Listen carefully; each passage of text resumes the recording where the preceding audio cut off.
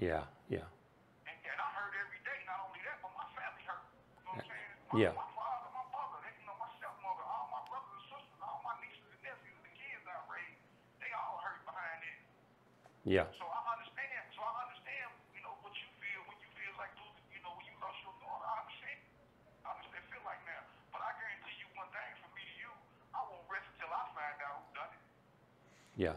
We just want the truth. I done spent, I done spent too much time in prison not to find out who done it. Yeah, yeah, So I, I got to know myself. It's just, just, to, just to satisfy my curiosity. I got to know. yeah, yeah, And so now, so, so now this, so now this to me, this is personal. You know, because not only, not only I'm hurt, you hurt my family. You hurt the people that I love most.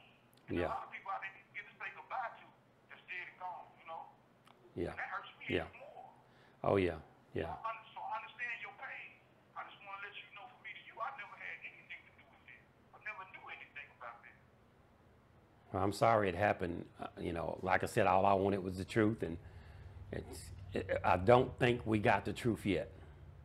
But I appreciate you for coming forth, for coming forth and speaking your speaking your mind for your daughter, not just you, but for your daughter too, because she deserves just too, just as well as me.